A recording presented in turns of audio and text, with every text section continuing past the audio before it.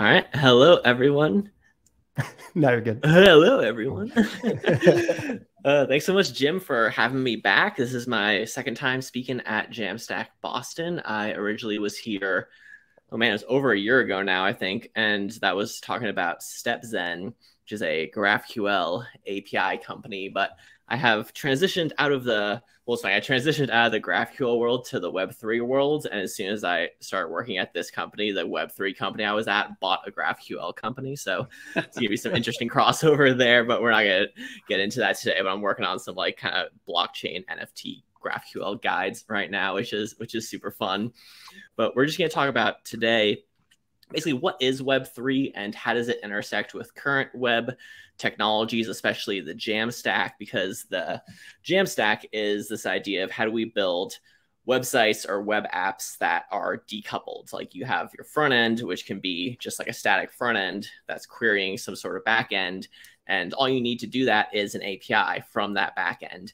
And then they don't have to live together in the same project. They don't need to be this you know complicated monolith that requires 30 minute long deployments and all that. So for someone who's heard of the jamstack you probably heard the pitch of like why it's a, a useful thing but it gives you more resilient more reproducible nicer dx kind of experience. And what's interesting about blockchain is that the blockchain itself is like a backend api in a certain sense. Now it's different because it's decentralized. So I would first talk about like what is the difference between decentralization and decoupling because you you mentioned that in the the intro. So with decoupling, it's about having an app that's made up of pieces that are separate but communicating with each other. So that's usually a front end and a back end, and they're speaking to each other over a REST endpoint or GraphQL endpoint or RPC calls or something like that.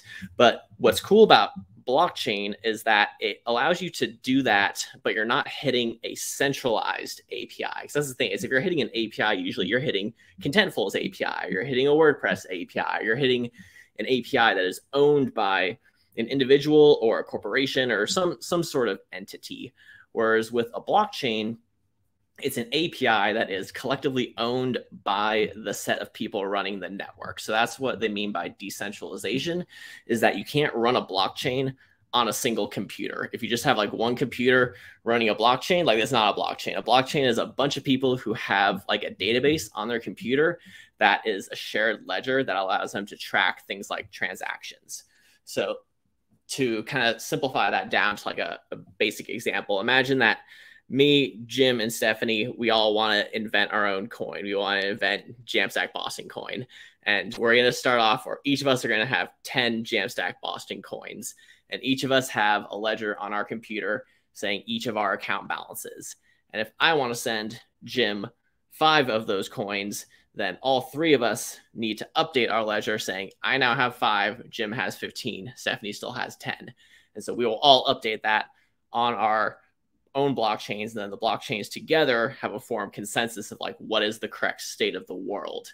And the reason why this is something that first started in currencies and with cryptocurrencies is that you think about it, like you can't defraud this because if you try and give yourself a million dollars, all the other people and they're like, wait, you don't have a million dollars. That's not in my ledger. So it allows people to kind of keep each other in check in that respect. And this is why people will talk about how decentralized is a blockchain. So if you think about it, if you have a blockchain and there's 100 computers running that blockchain and one person owns 99 of those computers, then they could just change it. So there's these things called like 51% attacks. But that's kind of the, the main idea is that you have a bunch of computers that form a network, and then that network holds data that people can interact with. And so that data can represent money, it can represent art, it can represent uh, like financial uh, algorithms. It can, it can represent essentially anything you can think of. But the cool thing is that because it is just an API, you're going to query it from a front end. like so, once you start getting into this Web three stuff, you're going to start seeing all these examples, and it's like React applications that are just like hitting this contract address and then getting this data back and then displaying it in React components or Svelte components or something like that. So this is something that I was saying before I even got a job at QuickNode is that you can't build a Web3 application that is monolithic. Like it's literally impossible because of the, the fundamental architecture of it. So what the, thus Web3 is Jamstack by default. So questions from that first spiel. Anybody? So I guess um, so I I, I love the the pitch that, that clears up a lot of things. But I'm curious. Um, I mean, couldn't you have a monolith sitting on a server that has a front end and a back end and, and query these APIs? Or what, what is, I guess, what is the challenge between having your front end be distributed and interacting with the decentralized nature of blockchain? Yeah, because the, the, the, the blockchain itself is made up of a bunch of what are called nodes. So a node is like a, a, server, basically, and they're all you know servers. You can run them in your house. You can run them on AWS. You can run them on DigitalOcean. So QuickNode is a infrastructure provider that runs nodes for you and then gives you access to a, a kind of global API. So it wouldn't really make sense to run the the node and the front end together because if you change if you're trying to like develop and you like make a change to the node, that change doesn't mean anything until that change is accepted by all the other nodes on the network.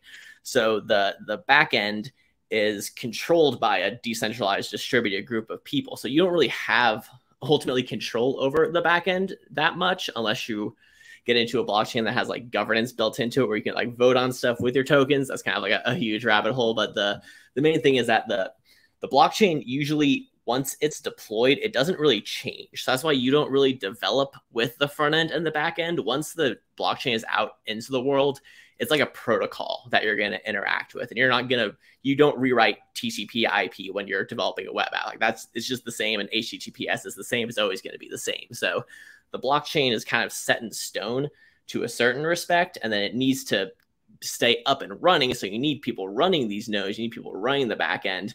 But for the people actually developing what are called dApps, decentralized apps, all they're doing is developing a front end that's querying this blockchain protocol mm-hmm. that was already defined in code. Ah, yep. That makes a lot of sense. I mean, that's kind of like the whole idea of the Jamstack, right? Is the, these microservices calling out to them to do work that you can't do in just your front end. So yeah, that makes sense. Cool. And so a couple just other terms that would be good before we actually start looking at the code is when you are talking about this kind of stuff, usually people will think of like Bitcoin is is typically the first kind of like blockchain application that most people became aware of and would kind of spark this like whole craze. But what's interesting is that Ethereum added additional functionality that Bitcoin didn't have. And so what Ethereum did is Ethereum gave developers the ability to actually embed a program in the blockchain. So before what it was is you had wallets that held funds and you could write logic that would transfer funds from one wallet to another. And like that's what Bitcoin was. It was a currency and everything about it was kind of around that idea. But with Ethereum, they're like, okay, what if we take the same idea, but we allow people to actually write a program? Like, what if we allow someone to write like Uber in the blockchain? And then you could deploy this backend and if you could write Uber in one go, you know, so that's kind of like one thing is that you're you're going to be writing these things over a long period of time, kind of adding functionality. It's usually additive kind of thing, but with program with smart contracts, you can like embed a program into the blockchain. And what's really cool about this is that it'll they call it a contract because you can't change it. So once you actually deploy this and it has a certain API that people are going to depend on, they can depend on that forever because it's baked into the blockchain and you can't rewrite the blockchain history. So you can update a smart contract. You can create a new smart contract that changes it, and then you could try and get people to upgrade to it, but you can't revoke a smart contract once it's deployed to a blockchain. So it gives you a certain amount of like security in terms of like we, we build on so much like open source stuff that's just like constantly changing. We build on so many services that are built by startups that are constantly like rewriting their stuff, you know. So I feel like just having software that is like intrinsically stable is is a really interesting idea. And this also gets into things like IPFS which allows you to actually like save content in like a git like form. That'll be a another talk that I'll have to give someday. But um the the idea is that you can have things be immutable on the blockchain and then also you are accessing it through what's called a, a crypto wallet. And this is why a lot of people will talk about terms like ownership and permissionless when they talk about Web3 because anytime you're interacting with a blockchain, you have a crypto wallet and you have like a private key with that crypto wallet. And like you own that, and that's the entirety of the whole deal with everyone involved. And this is a little different from something like Coinbase because Coinbase kind of holds your keys for you. But for the most part, with Web3, it's like a technology that's centered around individuals versus traditional web platform stuff, which I think is based more around platforms. Like you think about who benefited the most from web up to this point is Google, Facebook, Apple, Microsoft, you know. But this is a technology that actually is built around individuals and how individuals interact with the blockchain and how they can get value from these applications. Cool. Um, we can get to the code. So is the code that you're showing is it built on Ethereum since you can write programs in that blockchain or is it something else? Yeah, yeah. I, I said in the original um, uh, meetup description that was going to be Avalanche, but the two are almost identical. And for the sake of Web three beginners, doesn't really make much of a difference. So, oh, okay. but um, yeah, so it's, it's it is Ethereum. It's not Avalanche, but um, there's these other chains that are coming out that are what are called EVM compatible, which basically means they want to give you the ability to write a program exactly the same as Ethereum, but then deploy it on a different blockchain because Ethereum is like kind of slow and ridiculously mm, expensive mm, and has mm-hmm. like problems associated with it. But that's because it's like established and everyone's using it. So there's this kind of race to build the next Ethereum, and some people will do that by building a whole new programming language that's not Solidity, and then some people will do it by building a whole new blockchain with the same programming language. Yeah. So this question maybe is missing the mark on some of the stuff you're talking about, but um, you know, we have these things, these tools, and I and I don't think these are exclusive of what you're going to show, but you know, we have things like Git, and we have um, even history that can be kind of um, laid out and for programs in like Docker. So like Docker Hub can have like a history of releases and things like that. Um, is the idea behind releasing um, programs on something like Ethereum that not only is that his, that history is no longer essentially controlled. So like I, I could have an open source project, but I could at some point take it down from GitHub and destroy my Docker Hub and get yeah, rid of that. Or, so like it's rewrite no longer, your, your Git history in, in rewrite my, ways. Yeah. I could I could force push and change that history. Mm-hmm. And and the idea here is that like that is owned by the community, like truly, and that cannot be changed. Um, although I could continue releasing new things, it's not like I've locked myself into an old way of thinking. I could change things, but everybody in the community has access to the full history and can revert or stay at any point in time. Is that kind of the thinking? Yeah, because it's an append only log. Think about it, you can add something to it, but you can't take something mm. off of it unless enough people on the chain collectively decide that someone wrote a program so bad that we all need to collectively decide to reverse it, which did happen once. Ethereum had a program that had a bug in it that led to hundreds of millions of dollars just like disappearing. Oh, so oh, yeah. the a core team basically said, "We're gonna fork it. We're gonna go back to the point before we mess this up, and then we're gonna make that the chain." yeah. And what about the case where, okay, say I'm a small developer and I'm working on something, and I I release API keys or things like that, uh, security vulnerabilities in there. I'm kind of I have to get consensus from the community now to revert or change that. Is that um, so when it comes to the the private key kind of stuff, if you are using tools that allow you to kind of like embed a private key into it, you can kind of swap stuff like that out a little more easily. So there's like there's there's things in the blockchain where you like expose certain APIs that can't really be changed. And well, I guess is it's it's the, it's true that you would you would need to like change the, the contract address ultimately because you can you can always basically like roll your keys essentially and redeploy the contract. And then the contract will be mostly the same and people will still interact with it the same, but it'll have a different contract address. So if a contract gets compromised and you need to fix it, you deploy a new contract and then you give people that contract address and then they swap it out. So that's one of the things I'm, I'm going to show in this example is we're going to deploy a like very simple smart contract. We're going to get that address. We're going to put in our app and then we're going to like kind of query it. Great. Cool. Excited to see it. Yeah. And then as I'm going, like people feel free to um, stop me and ask questions at any point. So I'm going to share video. Wait, how do I share? Oh, there we go. Bam, bam. All right. Cool. So let's start off by just looking at kind of what's happening in our project here. So who knows Svelte here aside from Jim? Probably Brittany.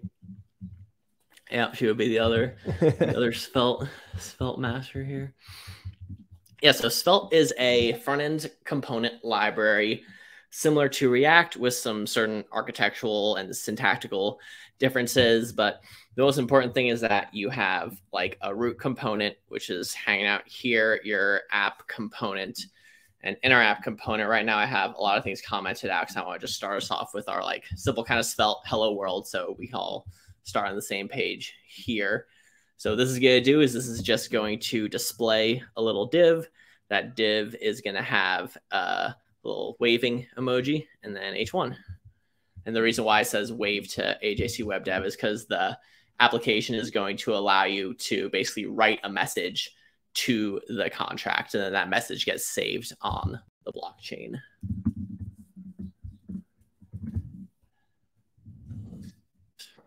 off and I, I talked about this a little bit before we started recording right now this is using like Rollup and kind of like the old school way of doing Svelte. Eventually, we're going to figure out how to do this with SvelteKit. And then that's going to be the move. So we do this in Chrome. Oops. Okay, so here's our Svelte component. Just saying wave to AJC Web Dev. Let me add hello from Jamstack.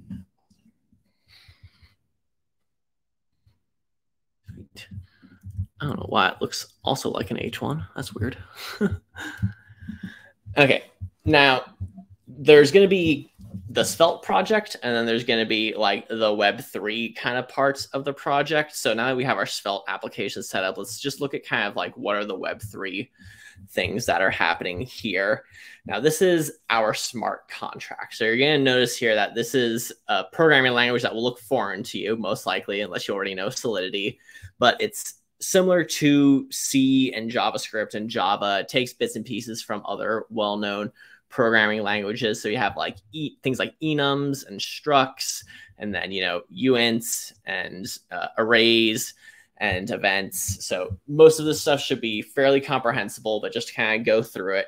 What's happening here is we're defining a wave. And so the wave is just a little message and then the message will include the address of the person who is sending the message. So if anyone out who's watching this also has like a crypto wallet already installed in their browser, they can interact with this project.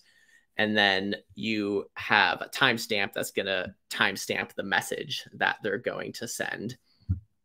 And then we're going to have a array that's going to save all the waves together. So as multiple people add messages. It's just going to keep a whole list of those, and then we're going to display that list on the page. And then we have a new wave. So anytime a new wave comes in, that's going to then have the functions that are going to either wave, get all waves, or get total waves. So most of the important stuff is happening here in the, the wave function.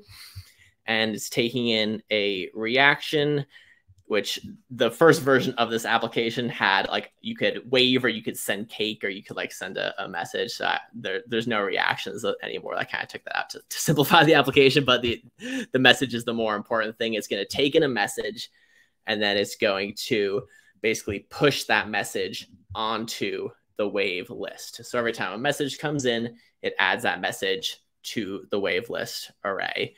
And then if we want to see all of those messages, then we can do the get all waves. And then we can also get a number of how many waves there are with wavelist dot length. So this should be fairly comprehensible if you know like, you know, general programming constructs. The syntax may look a little weird, but all that's really happening here is we're defining a struct, defining an array, and then pushing kind of like objects onto that array.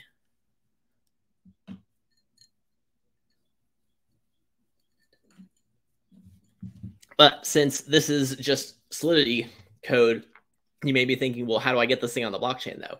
And the way you actually get this thing onto the blockchain is with Hardhat. So Hardhat is a develop developer tool that makes working with blockchains really, really easily. So what's happening here is we're going to tell it that we want to deploy our Wave portal contract. So we first defined this contract. We just write the contract word, then give it a name, and it's like a you know a, a object or constructor kind of thing. And then we're going to run the get contract factory, and then we're going to run this deploy command. And then what this does is it actually can you can tell it which blockchain you want to deploy it to. So we have this hardhat config file right now, and we're going to tell it to deploy to the Ropsten chain. So when you're getting into this kind of Web3 stuff, you're going to hear about a lot of different blockchains. There's like a lot of terms. This can be really confusing. I would recommend kind of like the first thing you should learn is learn Ethereum. But when you learn Ethereum, you actually realize you don't deploy to Ethereum. So if you want to deploy something to Ethereum, you got to pay money. So you don't really want to have to pay $10 in gas just to build a Hello World application. So what you do is you deploy it to Ropsten. Ropsten is like the fantasy version, fantasy parallel version of Ethereum that people can interact with in essentially the same way, but all the money is fake money. You don't actually pay for the money. So you can just go into what's called a faucet and ask for ether on Ropsten. They just give it to you. It's just free. So when you're deploying, when you're developing this kind of stuff, you're going to develop on a test net and you're going to deploy it to a test net. You're going to test it on the test net. And then once you've done that many times and hired various companies to audit your contracts, then you deploy it to actual main chain. So today we're going to just deploy to Ropsten, but it's going to give you a good idea of like what does it mean to kind of get something onto a blockchain. Now I'm gonna hop off screen for a second because there's gonna be two things I'm gonna have to put in here that I don't want to expose. There's gonna be the endpoint for our Ropsten URL. Now this is what we're gonna be getting from quicknode.com. So this is the company that I work for. This is a blockchain infrastructure company. So what's really great about uh, QuickNode is that it allows you to like very, very simply get spun up with an endpoint. So right here, we can see our endpoint, and I'm not going to show the whole thing because at the end of the endpoint is essentially like an API key. You don't want to expose your um, actual endpoint to the world. You always want to keep this in like a, a environment file or something like that. And all you do is just grab that endpoint and then put it right here. And then you also need a private key for a wallet. So this is what I was talking about before, how when you deploy these things, it's associated with a specific person's wallet. So I have uh, MetaMask over here, and for people who aren't familiar with MetaMask, it's kind of the most you know popular, well-known browser-based wallet. So when you're getting started, you, you usually start with MetaMask, and then in MetaMask over here, you can get set up on Ropsten testnet, and then you can see here I already kind of sent some Ropsten to myself on the Ropsten faucet over here. So if I were to do this again, I would just grab my address here, copy it to the clipboard, put it there, and then give me Ropsten. And this is similar to what you would do if this was real money and I wanted to transact with, say, Jim. Jim would send me his wallet's public address, and then I would be able to send him money from my wallet. Any questions so far on, on all that?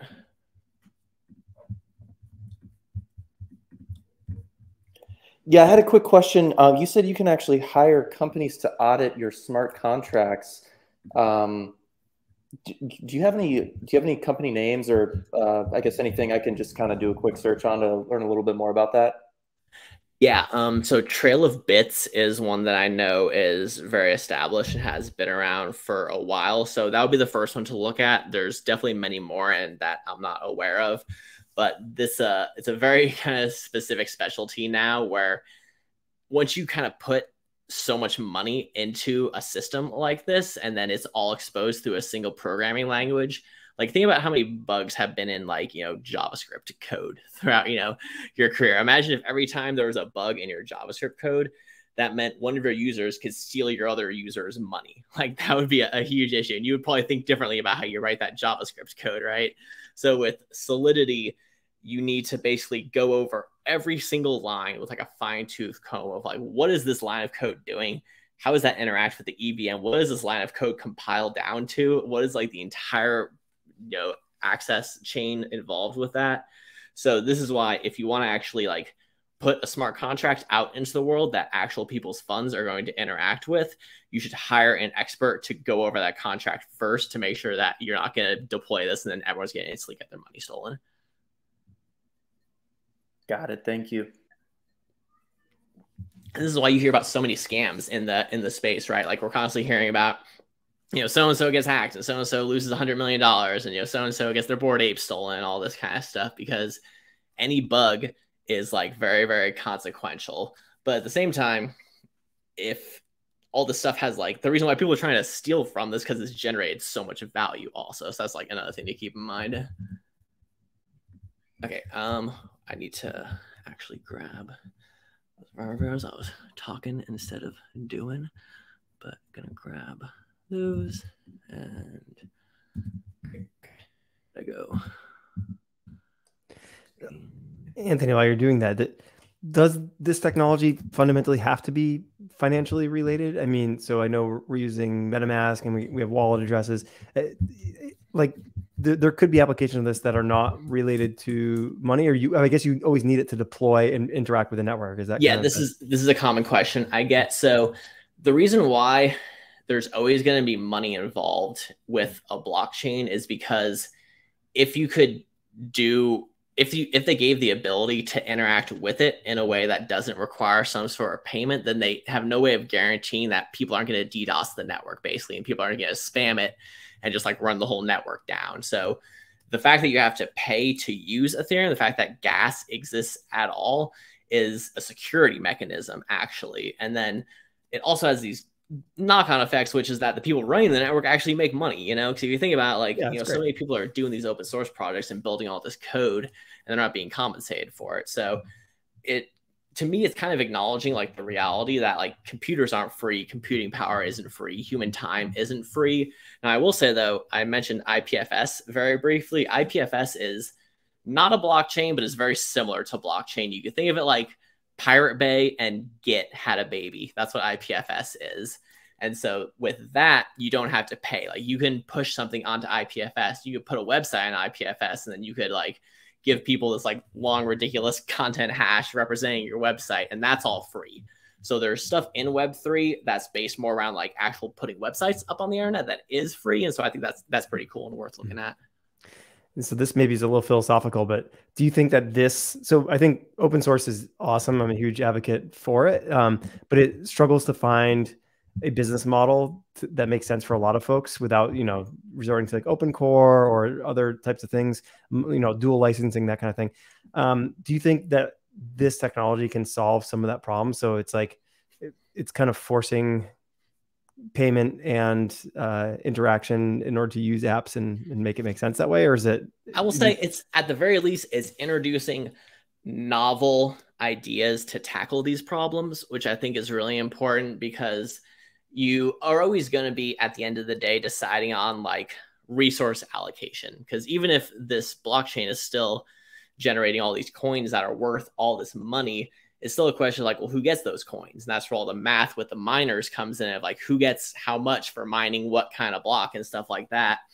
But the more interesting stuff is you could actually write your blockchain from the start where you say, okay, 20% of all coins mined are going to go to core developers and it's just going to be there. And then once people vote on who the core developers are, they will get paid out.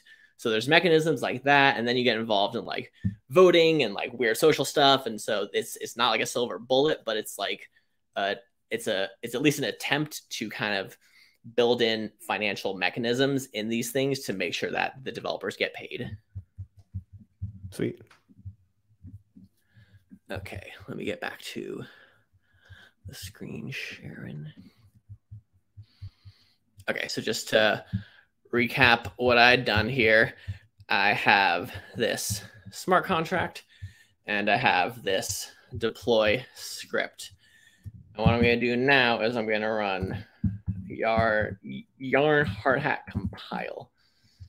And what that did is it took our smart contract and it compiled it. And that is so you can then actually take that binary and then like shove it up onto the blockchain. So the next step we're going to do is yarn hardhat run, and we're going to just run that deployment script. And then we're going to give it a network flag that's going to specify the Ropsten test network specifically.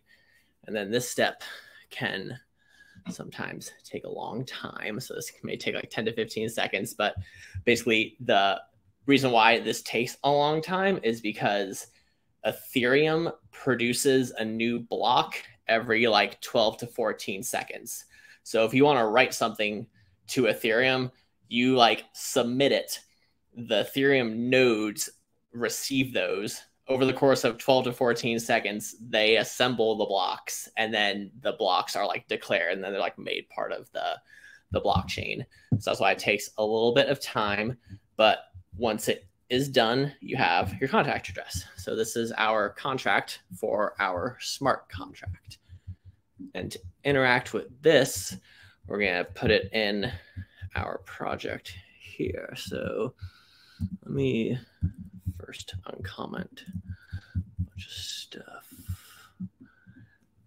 So I'm going to change that contract address. So we're going to set it to a contract address variable and then this is kind of the more like web3 library kind of stuff and this is like letting you basically connect to a blockchain with like three lines of code which is really really sweet so what this is doing is it's first checking do you have a crypto wallet at all? So this is going to check the browser's window actually, which is like if you know the the window object is like you need to go all the way up to the chain to see like what's actually happening in this web browser. So you go to the window and you see does this person have an Ethereum wallet? So that's going to check to basically see do you have MetaMask? If you do have MetaMask, it's going to say okay, cool. This is now your provider. This is the representation of you as a user we're then going to take that provider, your smart contract, and the application binary interface associated with it, and the contract itself. And then we're going to create a contract object that you can interact with in JavaScript. So, this is what's really cool if you're a JavaScript developer. This is going to do this whole translation from blockchain into JavaScript for you. So, right now, where you get to write JavaScript code to interact with the blockchain, even though like Ethereum doesn't speak JavaScript. Like there's no concept of JavaScript in Ethereum at all. But with something like Ethers, they allow you to basically say, okay, we're going to write this API that's going to take RPC calls that you would need to write to interact with Ethereum and then turn that into JavaScript functions. That makes it like super, super easy for, for JavaScript developers. And then you get to just run a JavaScript function that corresponds with your smart contract function. So this get all waves smart contract function is now a uh, ethers.js JavaScript function that will then just give us an object, which is all of your waves. And this is just kind of some normalizing your, your timestamps to make sure they look nice. And then it uses uh, Svelte on mount to actually mount that to the thing. Okay. Um, so there's gonna be a lot of code here, but um, I'll try and be as succinct as possible with it so people don't get too confused. Oh, I know shit. I know what I did here. Okay, so we got three components that is kind of making up the the majority of our application. We have our wallet component. And so our wallet component is what's checking that we have a MetaMask wallet, and then it's looking through your wallets to like kind of grab an account because you can have multiple accounts in a wallet. Don't worry about that too much. And then we're going to give you a button that you can click to connect your wallet. So that is the really important thing to always be aware of as you get into this stuff is that don't click random buttons in web3 unless you're like comfortable losing your your stuff because anytime you connect your wallet you are kind of trusting that service that it's not going to have code that's going to be malicious. So anytime if someone just is ever sending you random crypto spam they're like hey airdrop you get a free thing connect your wallet. Like that's not a free thing. They're stealing your thing actually. So like be very wary of that. Let me get this going now. Um, let me do that and that. All right, so now we have our components on screen and we're gonna have the connect to MetaMask button. We're gonna have an input field to write our message and then the wave at me button is what takes that message and then sticks it on the blockchain for you. So let's first just start by connecting our wallet. I also am console logging some stuff here that may help you out a bit. Okay, so I was already kind of logged in and have been connected to this before. So it kind of recognized and was like, hey, you want to connect to this again. Cool.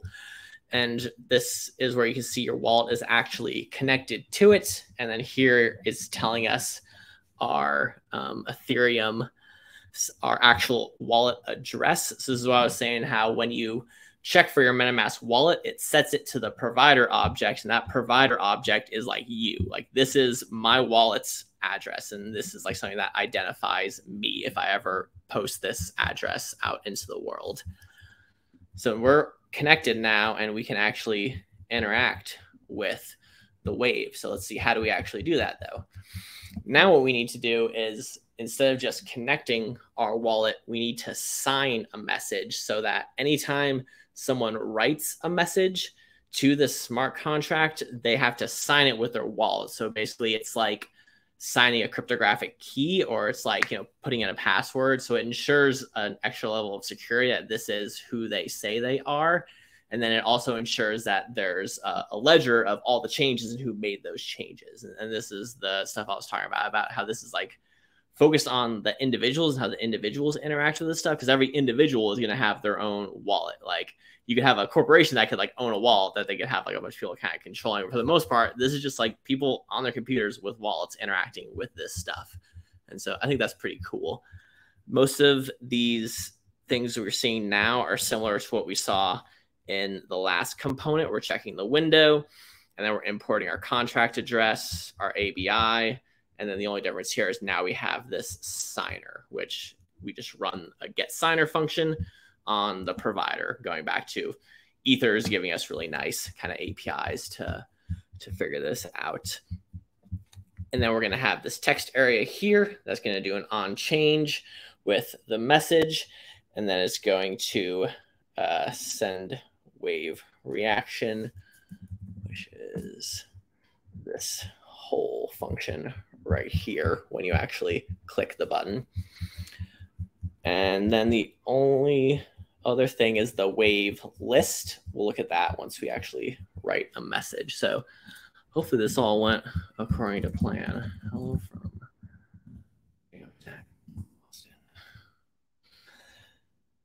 This is a step where they're saying, hey, you need to sign this transaction. So your wallet pops up and it says you need to confirm this transaction. This is the part you tell you to be wary of. This is the part where they'll steal your stuff if it's a trend, if it's a contract you don't actually want to connect to.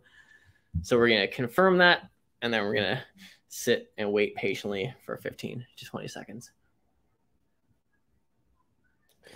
While we're waiting, Anthony, um, so is there some security in knowing like when your wallet's popping up, it, it's providing you details with something that you're like you essentially can trust, right? Like your wallet is giving you information that you can trust. So like if they're saying in order to complete this, you have to send this amount, is that safe at that point, or can like can that still be misleading where you think you're sending one thing or, or doing a smaller transaction than you th- than is reality? I guess this is this is where it's it's really tricky for people who aren't really like coders because a lot of times when you're being asked to sign a transaction, like you can dig in and you can see what the transaction is they're actually asking you to do. And it's gonna be this like huge JSON blob of like methods and stuff. And if you know what those mean, you can go read through it and you can be like, okay, they said they're gonna give me something, but they're actually the the JSON here says they're gonna take something. So it's not that you can't see what's going to happen is that like people are interacting with these things who don't actually know how code works and who don't know how to actually read code and so what they do is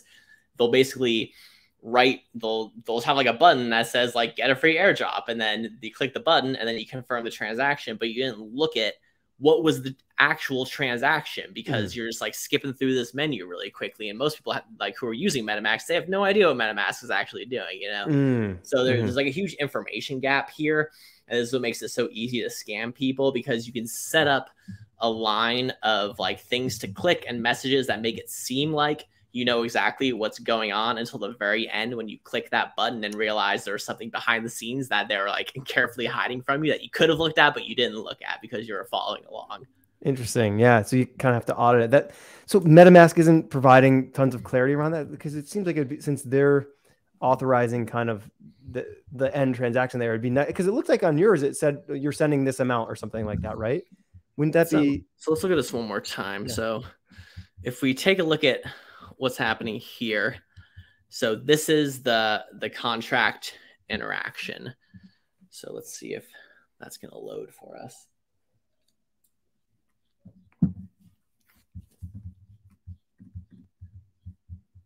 There's the hexadecimal, which is of course super useful. So normally when you're signing a transaction, it should give you more information. I'm not sure why it's not right now there's also lots of other wallets out there. So there's always kind of like a there's at least competition in the space. So if like one wallet is like dropping the ball on security, other wallets can kind of come in. Sure. Let me see if I can actually get this to show something. Let's see. Um, okay, here we go. So this is transaction transaction. So this is what we're looking at right now is etherscan mm-hmm. so this is the like the blockchain itself a way to kind of like read it and and query it and try and understand it a bit. And so you can go look at the contract. And then here's the contract Oh my god, look at that. so it's like you can decompile the contract to look at the code if you're willing to wait like 86 minutes. And this is the exact reason why things like Avalanche exist because like there's no reason why you should have to wait 86 minutes to do something like that because like mm-hmm. the Ethereum network has like certain bottlenecks in it. So this is where you can see, like, if I wanted to go look at the smart contracts code, it's on the blockchain. Like the code is on the blockchain. You can go look at it if you want. You can see what the contract is actually doing. Mm-hmm. But the vast majority of people aren't going to do that. And the vast majority of people are going to just click the button and then hope for the best. And that's yeah. why, like, you you shouldn't really interact. You shouldn't really put your money into this stuff until you have a clear understanding of how it works. And this is why I recommend people like if you want to invest in crypto and you want to get involved in it, this is not financial advice, but you should start with something like Coinbase because Coinbase they hold your keys for you, which some people say that means you don't own your you don't own your money means Coinbase owns your money. It's like, well, yeah, but the bank owns my money too. So mm-hmm. there's companies that will allow you to kind of put trust in them to make sure that you are saving yourself from getting owned. Like if you put your money in Coinbase, you can't click a button and give away all your funds because it's not just sitting in a wallet that you're using and you're interacting with on the internet. So there's ways to protect your funds. And the main thing is like if you just have money in a MetaMask wallet, then you're always vulnerable to these kind of attacks, these kind of social engineering type things. Because anytime you're clicking a button in your MetaMask wallet, you have to like have done your research, like what is actually doing. And this is why it's just like mm. if you're going to buy like an NFT or something, like don't buy an NFT in some random project you just like heard about. Like if you've heard of like if you can go research it, you can find out who's the team behind it. You can see there's a company behind it. You can see there's like individuals putting their name behind it. That's usually a good sign. Mm-hmm. If you are seeing something and you go research it and you can't figure out who it is, where the website is, and there's just this random Twitter account with 50,000 followers, that's probably a bot farming kind of thing. Sure. Yeah. Hopefully in the future, this stuff gets a little more transparent. I feel like the reality is most people, myself included, are going to just click buttons and don't have time to audit, you know, everybody's code at the end of the day. So hopefully someday that this this becomes a little more secure to yeah i mean i think the the services are already there that are that are secure and that are doing that for you but it's about knowing who those services are and knowing which ones to trust and which ones not to. So having a, a web3 friend is is useful. Yeah for sure. Okay um great. So that's the that's the application. Now but this is not a Jamstack application yet, though. We obviously we got to put it on Netlify or Vercel, or else it's not Jamstack, right? So what's cool though is this whole thing is just a static website right now. Like quite literally, there's nothing, we don't even have to include any environment variables because our contract address is hard coded in. So if we want to now deploy this, all you gotta do is run the vercel command and then click through all of this. And what this is gonna do is it's gonna just take a project, push it up to Vercel, and Vercel now owns the man who created Svelte. So that's kind of like owning Svelte, I guess. So there's nice Svelte integrations. And then what this is going to do is it's going to not only deploy our application, but it's going to deploy our application with the messages we've already created because the contract hasn't changed. The fact that we're interacting with the contract through localhost or through the actual website is irrelevant. And that's the, the decoupled nature coming in here is that when you deploy a project locally with like SQLite and then you spin up a production database and then you redeploy the app, then you're like kind of back at zero, right? But with this, you are we were already interacting with our backend even on localhost, and we were writing these messages into the blockchain even from localhost. And so that's kind of the the Jamstack decoupled nature coming in here. So here is our website on first of all, I don't want this on Brave. I want this on Chrome. We go here, connect, and then there's our message. And we're gonna say hello from Vercel. The Vercel team. So I gotta connect this first. So the Vercel team is pretty into Web3 stuff. There's already a decent amount of Web3 projects that are running, like their front ends and like kind of uh, like web, uh, like you know marketing pages and stuff like that on Vercel. And then you have a, a lot of DApps that are starting to be built with Next.js. Netlify is not down with Web3 though. Like I know a lot of developer advocates at Web3 and they think it's bad news. So I wouldn't expect Netlify to get involved in Web3 anytime soon, but Vercel is basically already there. All right. Someone just do that. Is there is there a technical reason for that, or is it it's just a difference in community, or what's? Can you talk a little bit more about that? Yeah, I mean it's it's yeah it's definitely a difference in philosophy. I think that you know the, the people who I've talked to at Netlify about it, they just think that it's you know they, they don't think that the technology has much promise. They think that it's being used for a lot of scams, and they think that you know there's there there are negative externalities of Web three, and like I'm not gonna like sit here and tell you there's no bad things in Web three. So I think like when you have companies that are like raising these concerns, like those concerns are valid, you know, and, and that's totally fine. I think the the thing you have to do though is you have to really separate who are the bad actors in this space and are those bad actors the developers or is it people who are coming in and trying to break these systems and steal money from people? Because like when people talk about crypto scams and people talk about like web3 bros and people talk about like all this stuff they all they lump it all into the same barrel but the people scamming people on web3 are not the people building web3 applications. Those are two separate groups of people you know? So like we would love for there to be less people trying to steal everything from from web3 that would be awesome but the the thing that you really got to think about is like, do you want to give users kind of access to this new world? Because it means that there's going to be higher risk involved, but also means they're going to potentially have a lot of upside in terms of getting involved in this new technology and getting it on the ground floor. And like people who bought Ethereum, like I bought, so this is a funny story. I bought a, some Ethereum in like 2017. And then ended up like I had a couple years after that where I had like no job and was like broke off my ass.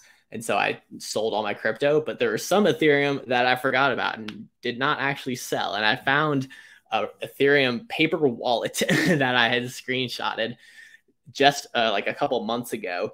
And that Ethereum that I'd I probably paid maybe like one, two, three, maybe at most three hundred dollars for was worth ten thousand dollars over the course of that five years is how much nice. more worth. So good for you. you get involved in this stuff in the beginning, like you actually might find that you're going to get the types of returns that the startup founders are getting by building these things. Because if you're building, you know, like a Supabase or something like that, you're going to get those same returns, but only if you're a founder and only if you're an accredited investor who makes two hundred thousand dollars a year has like a certain amount of money, but like there's all these legal like there's laws based on whether you're allowed to invest in early stage companies. Like, so for me, this is about actually also giving people like access to financial investments and tech innovations that could pay off in the long run. But that also means you have to be responsible for those investments because there's going to be a thousand blockchains and maybe 10 of those are going to still be around, you know, a couple of years from now. So you got to do your due diligence, but that due diligence can pay off like in a magnitude you can't even imagine. And there's our messages.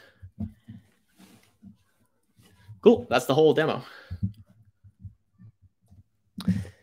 This is super cool, Anthony. I this is the first time I'm actually like really seeing this stuff, and I feel like you did a great job of breaking this down and and showing like all the actual parts that go into getting something like this working. So thank you for walking us through that. Yeah, I also got to shout out Nader Dabit. Nader Dabit was originally leading DevRel at Amplify before leaving to do DevRel at Edge and Node. He's now at a different company. Now he's at a uh, Celestia, but um, he about a year ago he wrote kind of like an end-to-end ethereum tutorial that was like fairly similar to to what you're seeing here except with react instead of svelte so that's cool. Mm-hmm. and it was one of those things where it was like all of these javascript developers all of a sudden realized oh you mean you can just do this with javascript? That's awesome. And so like once you kind of see an end-to-end example where you have a javascript app querying a blockchain then it all it becomes way less scary. You're like, oh, sure. I can I can do this actually. If I can get data back from this blockchain, like I can write a front end for it, and then I, I build a DApp. You know, it's like technically it's not a DApp right now because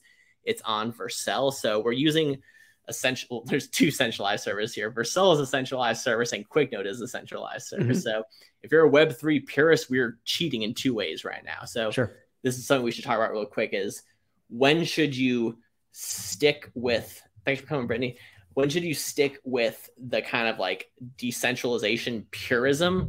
And when should you compromise on using a centralized service because it's worth the benefits you get from using it? So for us and you know developers who don't know how to run kubernetes or don't know how to run you know like ec2s at scale running a blockchain node is just way outside of, of your capabilities you know? So having the ability to use a service like QuickNode gives you access to the blockchain and it doesn't make Ethereum centralized. Like Ethereum is still decentralized. QuickNode owns a bunch of nodes that they're going to give you access to, but like nothing has changed here in terms of the actual deal, in terms of the contract. So the, the decentralized aspect is still there, even when you're using a centralized service.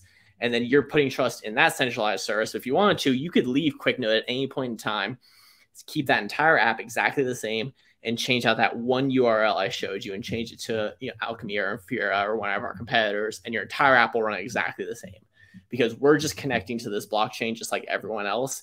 We're not doing anything fancy there for you except running servers on a global scale, you know? And then the front end part is being done by Vercel. So that's the centralized service. So that's where IPFS comes in. If I want my front end to be on a decentralized, unstoppable protocol, then I would put it on IPFS but there's like all these issues with IPFS. It's super slow, super unreliable. It's like you got all these conventions you got to learn. So for me, I think using these node providers and using these front end Jamstack providers allows you to build a Web3 application with uh, almost as little friction as you would building a Web2 application. Yeah, it seems like you need some folks helping smooth out the experience to have on ramps like these different services, just because uh, it is complicated and i think even at this level i think people need to understand how these things work. So i think it's great that that there's innovation happening in that space. It feels a lot uh, to me kind of like early days of the internet right? So in the in the beginning people kind of thought the internet was a fad. It's hard to believe now looking back at that but um you know you know people are trying to read their newspapers on it and it was like ah, i don't know if we can do much more than this and, and look at it now. So um, i'm definitely interested to see where the space goes. It seems like there's a lot of promise there. Um, I, I totally get the hesitancy too. I, I, think you know anything new, there's going to be lots of grifters, and you want to make sure that balance is mostly creators and, and less grifters. And I think people get freaked out by that. And, and you shouldn't take people's word for anything in tech. I mean, people are telling sure. you this thing does this and has all these benefits. The first thing you should say is, "We'll prove it." You know. Sure. So that's that's true of blockchain. That's true of deployment providers. That's true of open source frameworks. So like I, I, encourage everyone to be skeptical of every single piece of tech out there. Yeah. But what's cool about blockchain is like when you start digging into it, you're like, oh, this is actually built on like 40 years of cryptography research that's like extremely academically rigorous to the point where like it's gonna make your brain hurt if you try and actually dig into these protocols. Yeah.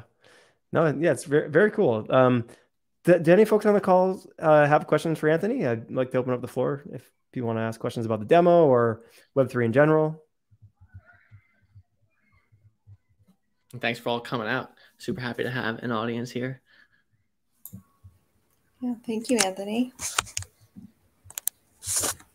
I'll throw out um, just some links for people. I am on the Twitters as AJC Web Dev, along with um, GitHub, and you can just go to actually ajcwebdev.com to find my blog as well. And so I'm putting out Web3 content and then also like just general kind of web development content. I'm still very much into like new JavaScript front end or open source kind of kind of tools. And I'm still hosting FS Jam, which we had Jim on, which was super fun Oh, yeah, way back in the day. Yeah, yeah. Thank you for coming, great Lucas. podcast.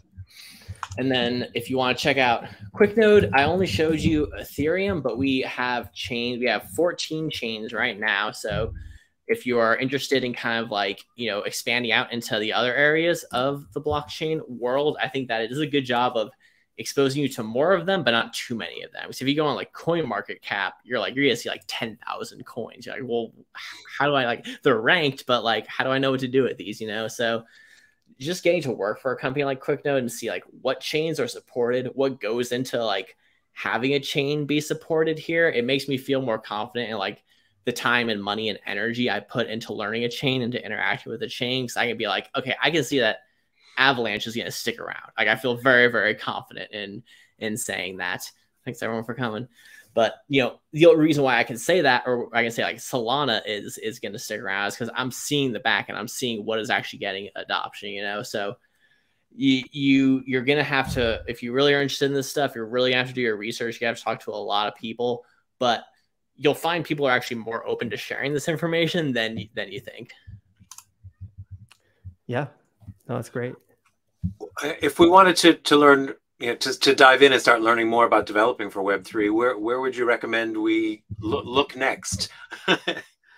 Yeah, so um, Patrick Collins, I will post something that he did. He is the premier um, kind of educator in the space right now. He just, like, within the last month, actually released a 32 hour course on the entire end to end getting into Web3 for JavaScript developers. And, like, it's more high quality. You're, you're going to find courses that are going to cost you thousands of dollars. I guarantee you they are not going to be better than his course. Like his course is going to be the best and it's going to be free. So I would say start with that one.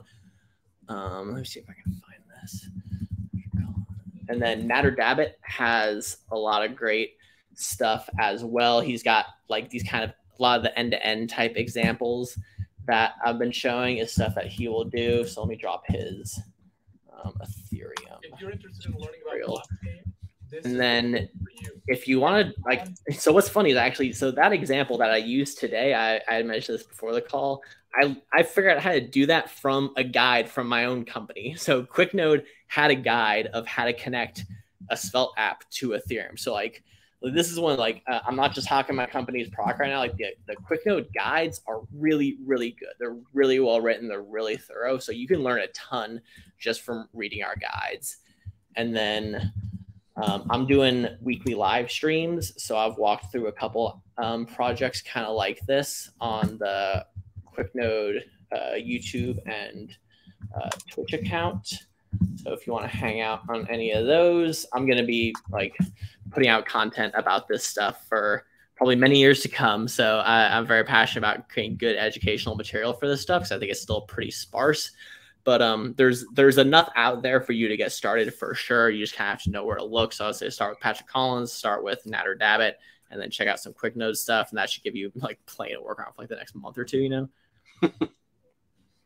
That's great. Th- thank you very much. This was really interesting, and I mean, just really th- things that I was completely unaware of. Really, uh, I mean, thinking of the blockchain essentially as a back end to to something had never it, you know, it's not not something I'd ever thought about. And so uh, I, I know, like really... blockchain the most poorly explained piece of technology ever. I think. yeah. So no, that's that's that's really great. I, re- I really want to do some research and learn some more about it because it looks like a, you know, a really fascinating uh, emerging technology.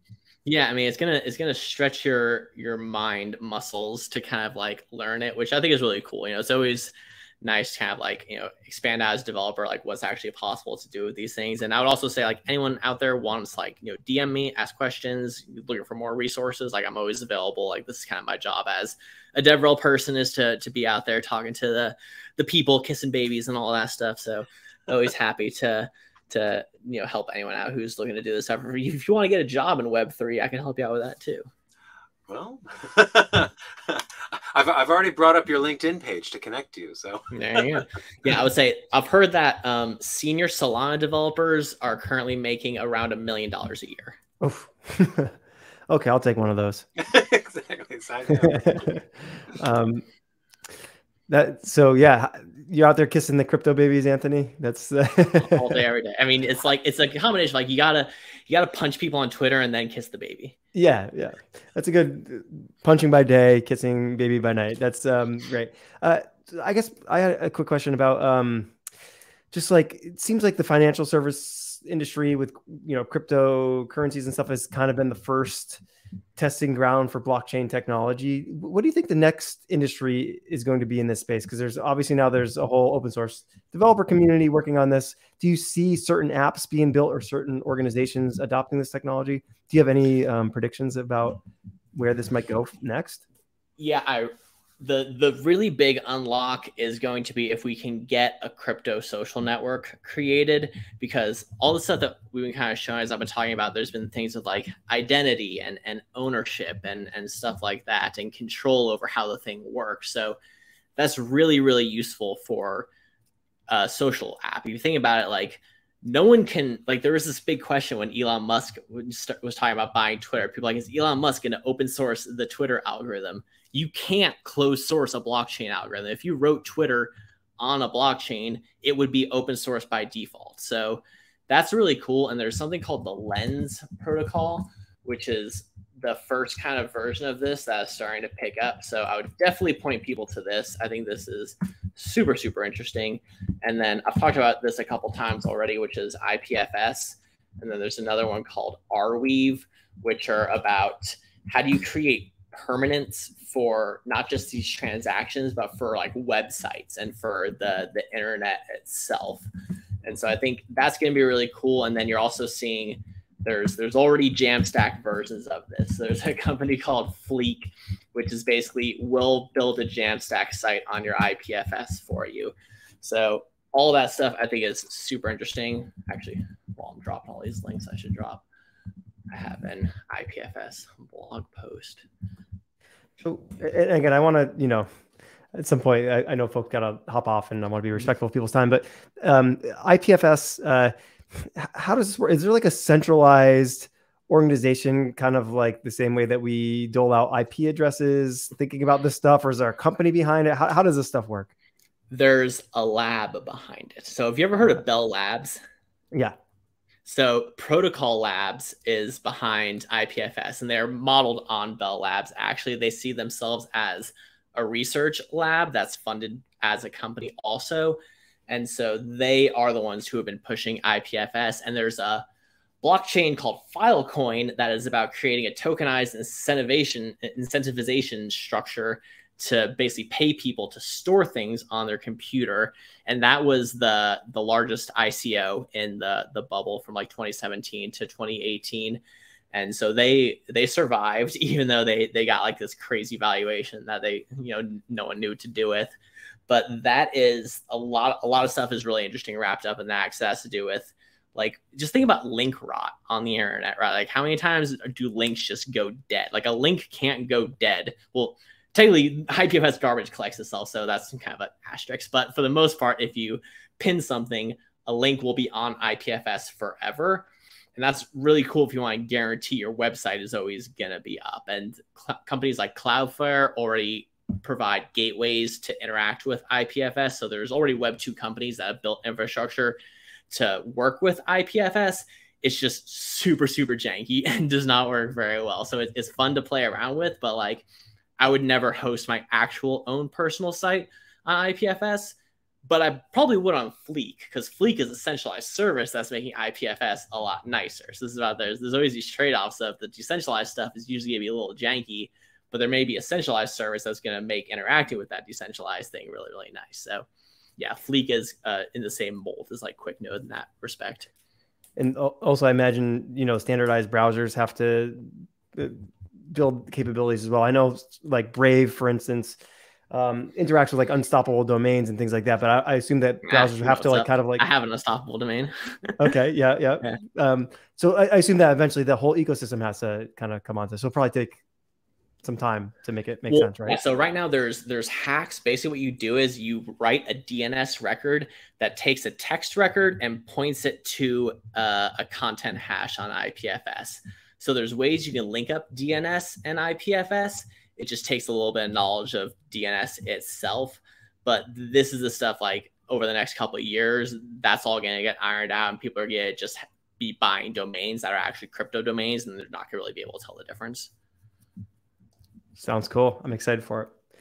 Okay, I, I think that's this is probably a good uh, breaking point. Unless other folks have dire questions they want to ask before we end. Yeah, great questions. That was super super fun. I'm I'm always glad people are actually interested in this stuff because you know I have I came from the web two world and I've been like going through have my network of people and be like, hey, you want to talk about this? You want to talk about that? And, like some people are like, cool, that sounds interesting. Some people are like, nah, man, I want to talk about Web three. Wait, I don't want to talk about Web three stuff, you know. So I just, yeah. I just hope that people can stay open minded about it, you know, and like, you know, like I say, like I'm not saying it's all good stuff. Like I will, I will, like there's Terra, there's this blockchain that lost forty billion dollars in the span of like three days. Like that's a bad thing. I'll happily call that out, you know. Mm-hmm. But you know, that's that's not that's not the whole industry, you know. Yeah, well, Anthony, thank you so much for coming on and talking to the group. Um, really appreciate it. I thought the talk was great and fielding the questions was really helpful. So thank you so much. Awesome. Yeah, happy to be here. Hopefully we can do another one sometime. All right. Great.